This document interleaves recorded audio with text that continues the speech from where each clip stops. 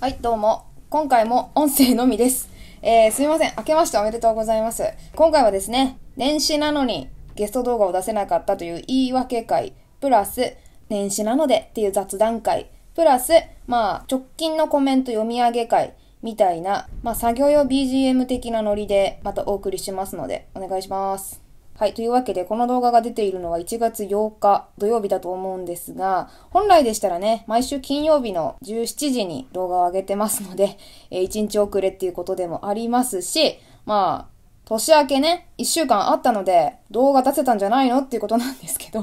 あのちょっと言い訳させてくださいね。えーと、まあ、年末年始は実家に帰ったり、あの、親族と、まあなんか、集まりがあったりみたいな風でずっと過ごしてたんですけど、あの、なんていうんですかね、親戚と集まる会のなんか密度が結構高いので、うちの親族は。一人で過ごす時間があまり取れず、字幕を編集するみたいな時間が取れなかったので、もう、ちょっと無理だなって 後半は諦めて、あの、編集とかではない、まあ、後で喋るんですけど、ちょっと創作活動に集中しておりました。大変申し訳ございません。で、まあ、年末の動画で、2022年の目標は、あの、漢字一文字で表すと、作る、クリエイトするっていう方の作るっていう字だっていうふうに言ったんですけど、まあちょっと、それをね、編集できない分実行しようぜっていうことで、最近はずっともっぱら、ドット絵をね、描いてました。あの、ツイッターにもバンバン上げてたと思うんですけど、まあなんかファンアートを中心に自分がなんか好きなもんとかを、あの、わーって形にするっていうのを、えっ、と、まあ今年のね、目標にしていきたいなと思ってるので、ちょっとその辺をやってました。で、あれです。あの、そのついでに、あれを作りましたね。チャコ先生の図工準備室っていうやつを作りました。Google ドライブの方に、アイキャッチの短い映像に出てくる、あの、ドット絵のキャラなんですけど、まあ、あの辺とかチャンネルのロゴみたいなやつを、あのネット上にアップロードしていまして、誰でもダウンロードできるよっていう場所を作りました。ぜひ、画像とか動画とか、なんか素材をいじくって加工して 遊びたいみたいな人は、あの、ぜひ使ってみてください。はい。あと、12月が、ちょっと私の予定が本当合わなさすぎて、あの、ゲスト収録が本当できなかったんで、なんか、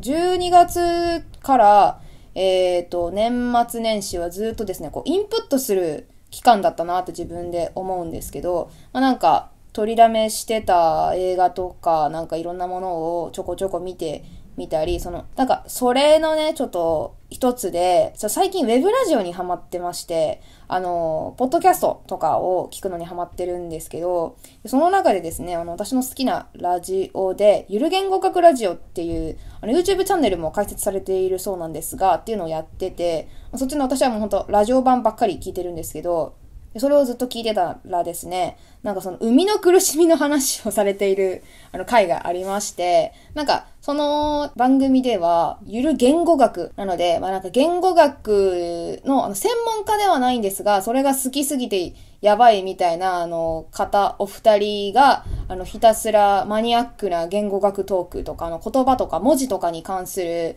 えー学問的なえーアカデミックな話なんですけど、でもなんかちょっと一般人にもわかるような、この、ちょっと、脚色というかね、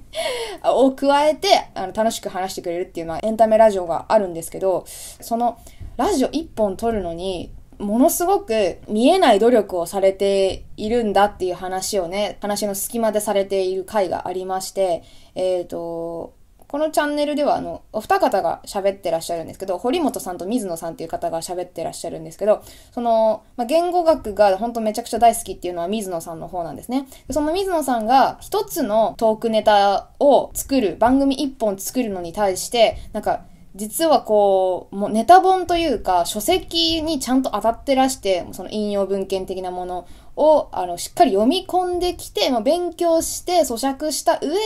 あの、番組を作ってらっしゃるっていうのを、まあ、話の隙間でね、要所要所でされるんですけど、まあ、その、なんていうんですかね、あの研究量がえげつないというか、本当にめちゃくちゃ高価で希少な本とかを取り寄せて、で、それをしっかり熟読して、で、こう一般人にもわかるように、あの、噛み砕いて噛み砕いて説明して臨むっていう風な形式で、あの、バンバン取ってらっしゃるんですけど、まあ、どう考えても大変じゃないですか。なん一番はまあとにかくお金がかかるし、それを、なんて言うんだろう、噛み砕いてコンテンツにするっていう、まあ、この期間もね、結構あると思うんですけど、まあ、継続的にコンテンツを供給されている方たちなので、本当にその点がもう、あの、頭が上がらないなというか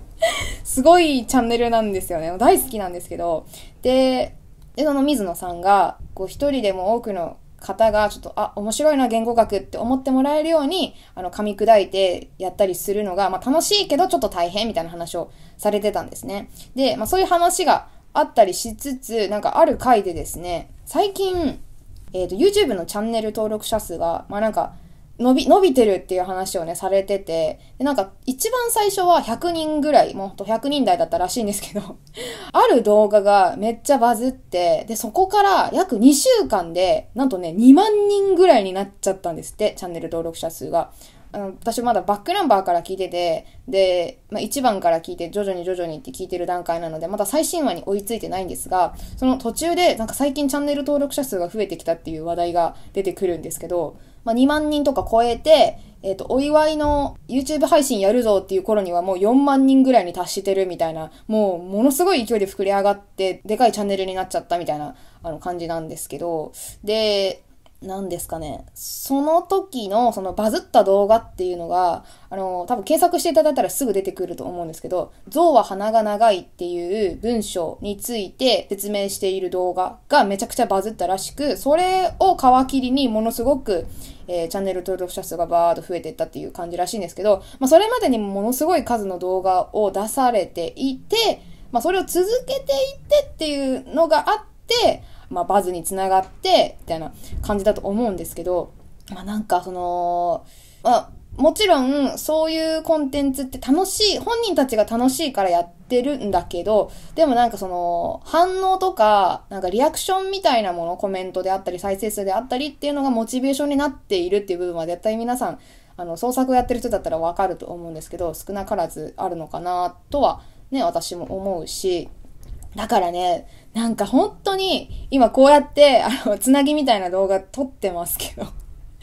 出し続けるってめちゃくちゃすげえし、すげえ大変だし、絶対やらなきゃいけないことだなって改めて思いました。その、あの、ラジオ聞いてて。あ、なんかこんな 年末年始で忙しくて動画編集間に合いませんでしたとか、そんな生ぬるいこと言ってねえで、好きなら忙しかろうがなんだろうがちゃんと供給し続けろって思うんですよね ちょっと戒め的な感じで、ちょっと自分至らないなっていう思いで聞きましたね。で、ここからは、えー、過去にいただいたコメント、ツイートなどのフィードバック会、コメント読み会にしたいなと思います。で、去年ですね、あのー、去年1年間の、えっ、ー、と、動画の中とか、あとツイッターとかでいただいた、なんか、反応、リプとか、えー、コメントっていうのをちょっと紹介していけたらなと思います。で、まあ、かなり前の動画にも、あの、ちょこちょこコメントいただいたりもしているので、未だにね、ほんとありがたい話なので、まあ、感謝の意味も込めて、えっ、ー、と、紹介していきたいなと思います。はい。では、まずなんですけど、上海ダックさん。こちらは、ビギーワンっていう創作本を出している花節さんっていうアニメーターの方がいらっしゃるんですけど、その方について喋った回の動画についているコメントです。えー、花節さんの絵柄めっちゃいいですよね。世界観もめっちゃ好きです。ああいう絵を描けるようになりたいですね。ってコメントいただいたので、あの、花節さんの動画にね、コメントがついたのがめちゃくちゃ嬉しくて、あの、もう、めちゃ、めっちゃコメント返ししちゃって、でね、あの、この方ね、話を聞いていくと、その、えっ、ー、と、まあ、趣味で漫画とイラストを描いてる方なんですって。で、その、まあ、花節さんのこの動画の中では、あの、お勉強しといてよっていう、ずっと真夜中でいいのにっていうバンドの曲があるんですけど、その曲の MV を花節さんが書いてるんですね。で、その MV から着想を得て、あの、ちょっとオリジナルストーリーの夢を見たと。で、それをいつかちょっと話が面白かったので、漫画で再現したいなっていうのをコメントで教えてくれたんですよ。それめっちゃすごいじゃないですか。なんか、その、実、実際の創作物から着想を得て、で、自分の無意識化、夢の中でそれを再構築して、なんかオリジナルストーリーが展開するってめっちゃ面白いじゃないですか。で、あの、もう、私もぜひそれ完成したら見たいですっていうコメント送ってて、もう私もそれもぜひできたら、あの、見てほしい、いろんな人に読んでほしいですっていうふうに書いてらして、ただ、あの、大学受験を控えているので、そのなんか今は息抜きみたいな感じで、えっ、ー、と、絵を描いているっていうふうにおっしゃってたんですね。だから、いろいろ落ち着いたら、あの、ぜひ創作、形にしたいっていうふうにおっしゃってたので、で、それがね、去年の冬くらいについたコメントなのかなだから、もう、ちょっ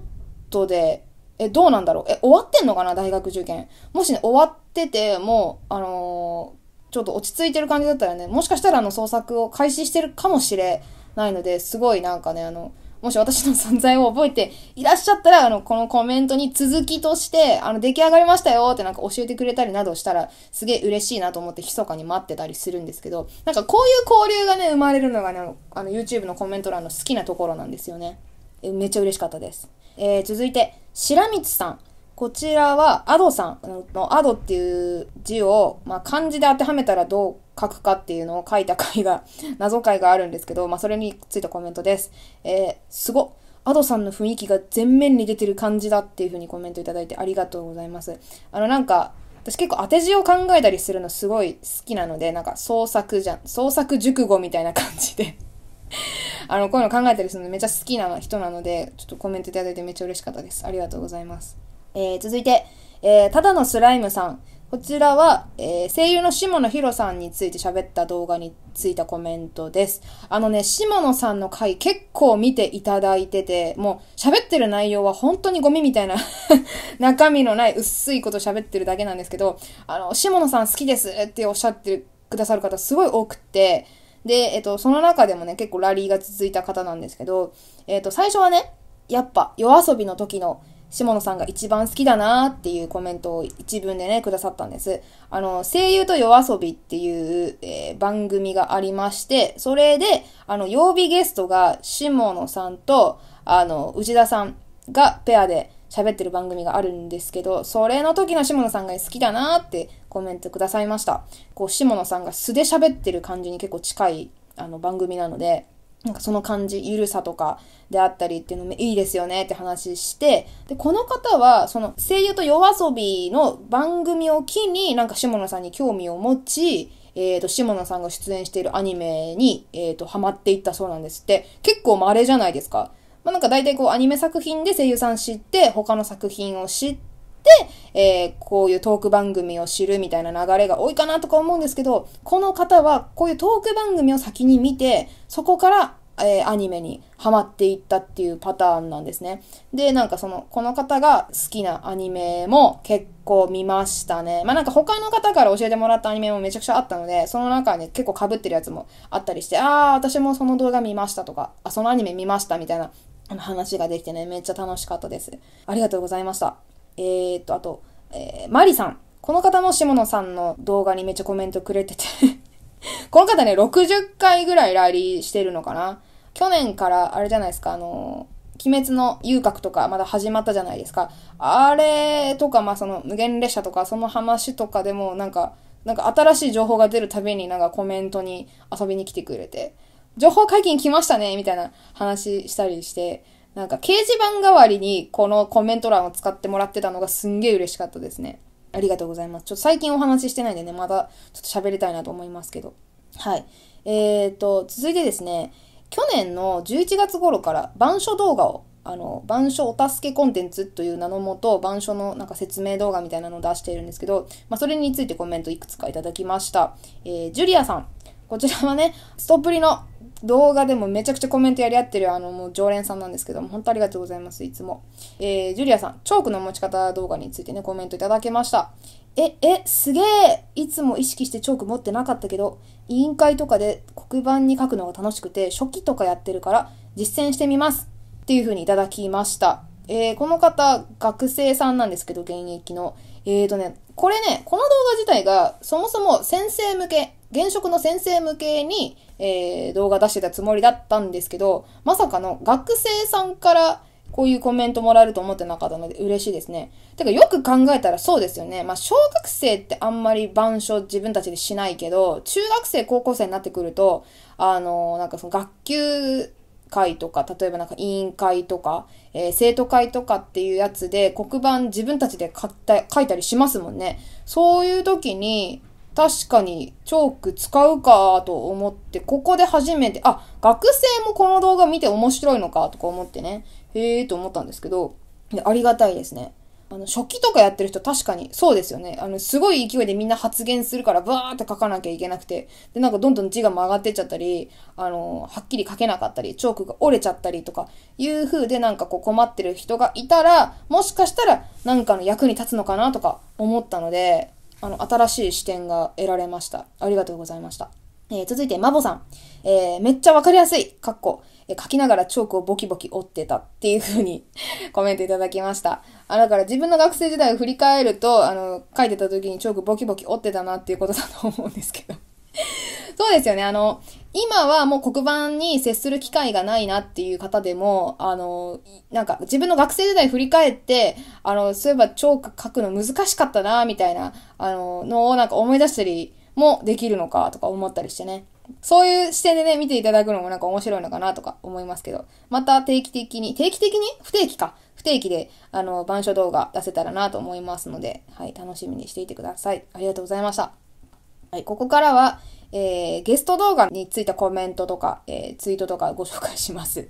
えーとですね、あの、誰々さんの回めっちゃ面白かったですみたいなコメント結構多くてですね、一つ目はね、あの、木漏れ日さんがコメントくださいました。ジブリ回、えリリカルさんと喋った時の回ですね。えー、ツイートかなこれは。めっちゃ面白い。最近時間がなかったりして、脳死で映画とか流し見しちゃってるから、あの、な、なんも考えずにって意味ですね。ちゃんと考えながら見よって思った。あと、黒板に書いてる名前を動画見るまで、いい、いいかるさん、いい、いいカルね。いいかるさんって読んでたなんて口が裂けても言えないっていう風に書いてて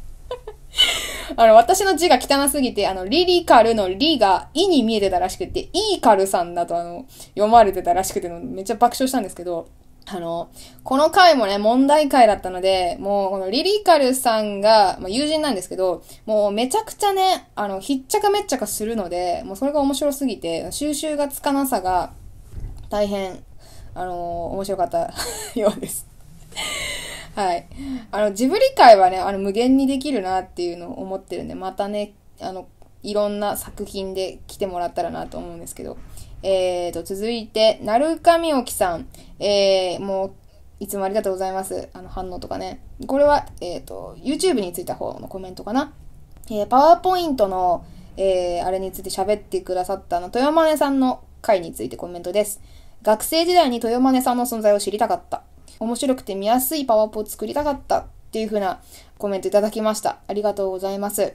あの、豊真さんっていうのはもう、パワーポイントの魔術師と言ってもいいぐらい、なんかパワーポを、なんていうのあれは、なんか、一つのもう表現ツールとして使ってるんですよね。あれでイラスト作っちゃったりする人なんで、で、なんか、それに、それについてっていうか、まあ、それの話をまメインで聞かせてもらった回なんですけど、いや、あの、本当にまさにそうだなって思いますね。なんか、ああいうなんかの一個極めちゃってる人とかにこうゲストに来ていただくと、あ、こういう人が身近にないればなっていうのありますよね。本当学生時代とか、あとなんか社会人ですごい本当にプレゼンをする人とかって、あの、身近にああいう方がいらっしゃったりしたら、絶対に役に立つじゃないですか。実用的だしね。だから、過去にそうだったらよかったのにっていうコメントはもうなんか本当に、豊真根さん的にも嬉しいと思います。ありがとうございます。えー、続いてこれね、結構あの、反響多かったですね。えー、横浜 DNA の倉本選手について喋ってもらった、ティックさんに喋ってもらった回についてコメントです。神美さん。めちゃめちゃ笑った。これリップですね、ツイッターの。ゲストが淡々と話してるのと、チャコのツッコミ爆笑の掛け合いが死ぬほど面白かった。で、あの、リプライいただきました。何回も見れるスルメ動画だっていうふうにも言っていただいてね、もう本当ありがとうございます。で、あの、YouTube の方でもコメント、えー、マボさん、えー、二人の漫才が面白くて2回視聴しました。漫才とか言われてるからね まあ、漫才だな、もうあそこまで行くとね。えーと、えー、リクさん、こちらは、えー、ツイッターですね。引用でいただきました。ツイッター見てたら回ってきたから見た。実は僕の好きな選手の一人だからちょっと嬉しかった。見に行った試合でも打つし、ファンさんもすごいし、今でも憧れの選手なんだよなぁといただきました。えっ、ー、と、もともとだから、このリクさんも倉本選手が好きな方であの動画見に行ってくださったっていう感じなんですね。あの、リクさんはこのこのリプライがきっかけでかな、あの、ツイキャスにも来てくださったりしたし、で、今度ね、あの、ゲストでも来ていただく予定でございます。ありがとうございます。楽しみです。えーと、さらに、これ最近の動画についたあの反応ですね。えー、若葉さん、えー、MC バトルの、あの、あれについて喋ってくれた、えー、ハロさんの回の後編についた引用リツイート文です。おとといぐらいに前編を見て気になったから話題に上がってた動画見たんですが、話題に上ってたあれね、あの MC バトルの元動画ね、を見たんですが、MC バトル、沼るわけだなと思いました。いろいろ見ちゃって時間解けた。これね、めっちゃ喜んでましたよ。あの、ハロさん自身が。やったーって言ってましたもん。だから自分が、これ面白いですよって言ったものを、あの、ちょっと気になって動画見てくれて、で、元動画に飛んでくれた？要は原作を見てくれたっていうのってすげえ嬉しくないですか？要は、不況に成功してるわけですからね。いや、これは本当に、私も嬉しかったです。自分の動画きっかけで、なんか、あのー、他の人同士が繋がるっていうのはすごく嬉しいですね。ありがとうございます。この反応いただけたのも本当に嬉しかった。あのー、続きのね、リプで、MC バトルの面白さ伝わってきたし、楽しみ方を教えてくれるところとか、すごく良かったっていう風にいただいてますので、あの、そこが伝わるようにはの、私も抜き出して編集してますので すっごい嬉しかったです。ありがとうございます。えー、その他ですね、えっ、ー、と、この、私の、えーと、セルフゲスト会についてのコメントもいただいております。セルフゲスト会ご存知ない方のためにおさらいなんですけど、あの、自分自身をゲストに呼んで、っていう設定でですね、セコくんっていう架空の、えー、キャラクターを用意しまして、で、まあ、そのセコくんと私で、チャコ先生が好きなものについて喋る。で、セコくんに聞いてもらうみたいな。あの、一発目は違ったんですけど、一発目はセコくんに私の好きなものを喋ってもらったっていう回なんですけど、まあ、なんかそういう感じで、とにかくセコくんを使って、私自身の好きなものについて語る回、セルフゲスト回を、あの、実現しました。で、それについての、えーと、リプライですね。初回、クラナド会についての、えー、ツイートです。動画見たよセコくんの歌をチャコさんの声で聞きたかった。あの、動画の中でね、セコくんに歌わせたんですけど、あの、それを私の声のまま、あの、ボイチェンかける前の声で聞きたかったっていうふうにリプライいただきました。ちょ、それは、ね、私が恥ずかしすぎて無理なので、あの、セコくんに無理やり歌わせたんですけど、だったらぜひデュエットさせてくださいっていうふうにいただきまして。ちょっとね、ボイチェンかけるとね、キーが変わっちゃうので、ちょっとできるかどうかわからないんですけど、まあちょっといつか、あの、歌わせる機会がありましたら、ちょっとそれを試みてみたいなと思います。ありがとうございます。で、あの、瀬古くんって自分自身なので、その、あの、アイコンがね、ないんですよ。で、あのー、瀬古くんのビジュアルを決めたいので、まあ、イメージをリップで教えてくれませんか？って送ったらですね、あの、マボさんがね、めっちゃコメントくれて、えっ、ー、とね、だいぶ決まりましたよ。声が低めなので、なんとなく身長は180センチぐらいありそう。でも運動は苦手なイメージ。っていうのと、あと、片目にグリーンのカラコン。で、大体いつもサングラスを着用。ゆるふわパーマ。耳はしっかり見えている長さ。これ結構ビジュアル固まってません？髪型と目の色、身長とその運動が、運動音痴っていう属性が決まったので、かなりね、いいかなと思いますね。まあ、なんか別に一個のイメージにしなくても、あの、このマボさんイメージではこういう姿、みたいな。あの、ガラルの姿、みたいな感じで、なんか、これこれの姿っていう風な、なんかいくつかイメージあってもいいかなって思うんで、あのー、ちょっとセコくん会、セルフゲスト会聞いていただいた方で、あ、セコくんってこういう感じのビジュアル、見た目かなっていうのがありましたら、ハッシュタグチャコ先生をつけて、あの、ツイートしてくださったら、あの、エゴさしますので、ぜひどうぞ。で、私、ツイッターの方でも、そのなんかゲストさんを探してますみたいな感じですごいツイートをよくしてるんですけど、あのね 去年の10月の頭頃に、ちょっとね、ちょっとしんどくなっちゃった時が一瞬あったんですよ。で、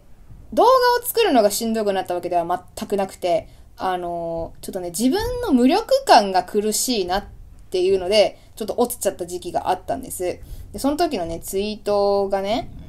なんかもう4件ぐらい長文で連投したんですけど、まあ、要はね、まとめると、反応がなくても、こう自分が好きなことをやれてるっていうだけで楽しいんだけれども、その、来てくれてるゲストさんの気持ちを考えると、自分の活動の認知度が低いっていうことで、例えば再生数が上がらない。つまり自分の喋ったことを多くの人に見てもらえてないなっっていう思いをさせてしまって申し訳ないっていう無力感をすごい感じてしまったんですね、この時に。まあ、日々感じてるんですけど、それですごい落ち込んじゃって、そういうツイートをしたらですね、あの、コメントいただきました。あの、過去に出てくれたゲストさんで、えキャオさんがね、えー、リア友にその動画を私は見せてるよと。で、その励みになるかわかんないけど、あの動画のおかげで、推しのことをあなたはここまで好きだったのねとか、あなたの言う好きってこういうことねとか、こう友達にね、重すぎず、かつすごい熱量で、こう私の推しに対する好きってこういうことなんだよっていうのを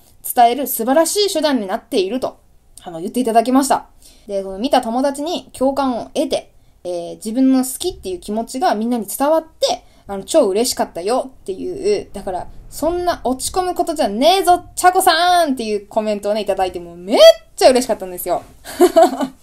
リアル泣きしましたからね。あーとか、ちょっとあの、えっ、ー、と、DM にいただいたので、ちょっと名前出せないんですが、あの、他、これもね、ゲストに来ていただいた方のコメントで、私もちゃこさんに、そのゲスト会の時に話聞いてもらえてすっごい嬉しかったし、もう、こんなに推しのこと喋ってる時ないっていうぐらい、この話聞いてもらえた感覚がめちゃくちゃ嬉しかったから、もう2回目出たいですっていう風なこといただいたりしてね、すごい嬉しかったんですよね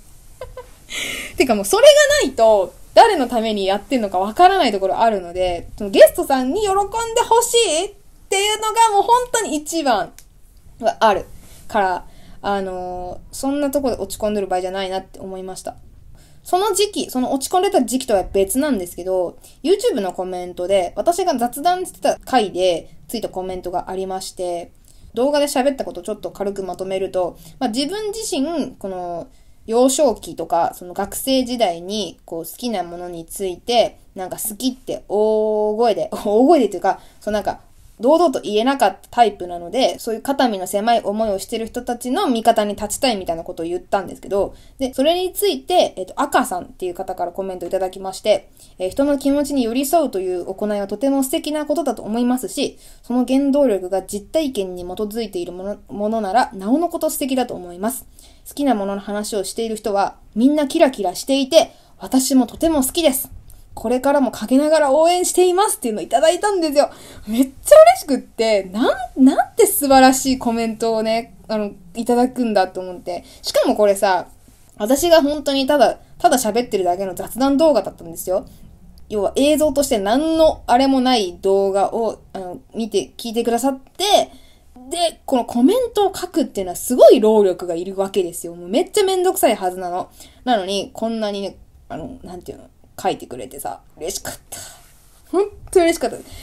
こういうのがあるからね、YouTube とかね、やめられないんですよね。そのなんか、発信する活動っていうのを。だからね、すっごい嬉しかったんです。ありがとうございます。